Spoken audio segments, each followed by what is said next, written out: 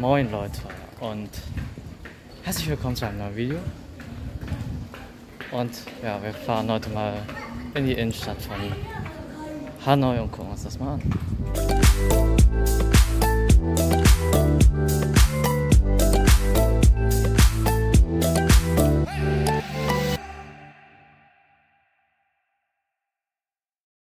Ich werde übrigens mehrere Tage in diesem Video zusammenfassen, da, naja, es ist hier sehr, sehr heiß und die Sonne strahlt auch sehr, sehr fett.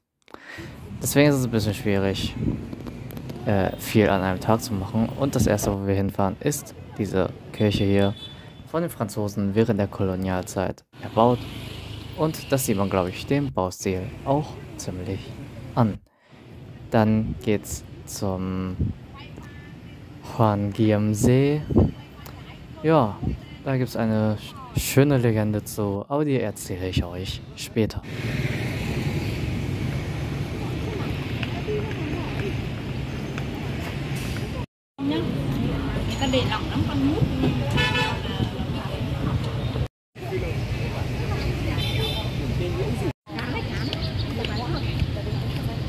Dann gehen wir zu diesem Tempel hier. Da ist eine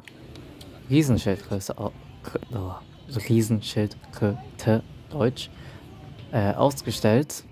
Und ja, warum denn genau eine Schildkröte? Dazu gibt es nämlich jetzt die schöne Legende, von der ich euch erzählen wollte.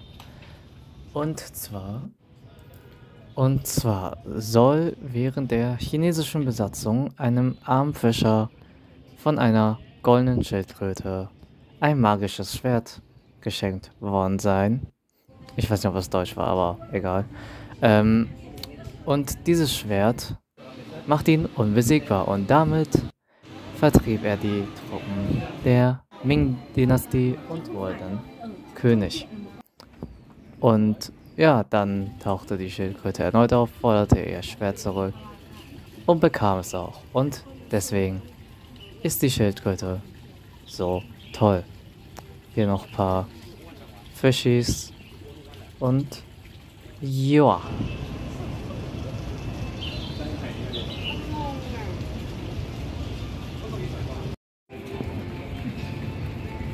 Und Fun Fact, es ist hier ziemlich normal, dass kommunistische Flaggen rumhängen.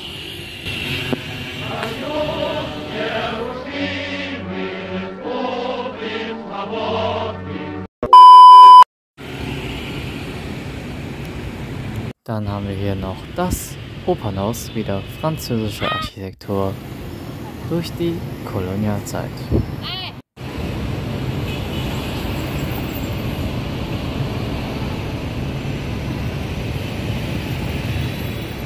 Ich versuche jetzt mal äh, auf die andere Straßenseite zu kommen. Hier in Vietnam läuft einfach quer über die Straße. Äh, funktioniert schon irgendwie schon. Gestorben bin ich jedenfalls noch nicht. Dann gibt es auf jeden Fall was zum Essen. Bisschen Wandern. Also, ja, chinesisches. Aber ist auf jeden Fall sehr, sehr lecker. Was ihr auch gesehen haben müsst, ist der Literaturtempel oder auf Vietnamesisch Van Mio Guk Du Sam. Hier, das ist äh, die erste Universität oder so. Naja, nicht Universität, aber erste äh, Soldatenakademie, könnte man sagen, die es in Vietnam gab.